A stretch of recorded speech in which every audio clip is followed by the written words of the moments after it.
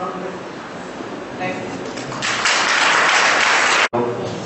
friendship from Netherlands, Belgium. And my children, I don't know whom I should say thanks.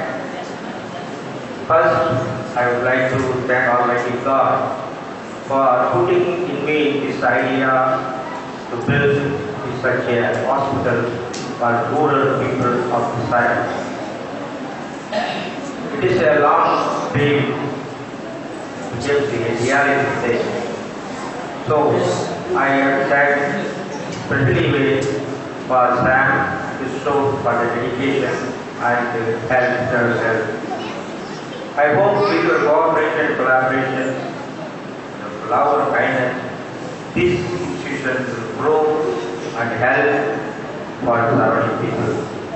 Once Gandhi, our national policy, it is not good to have many hospitals because hospitals symbolize many people. Yet we build now this hospital because hospitals are today a marketplace of money and commercial money. In our town, the big hospitals employ as money as possible, less service. But in rural area nobody comes for it. But area is a major for us to cover up this area to help poor people.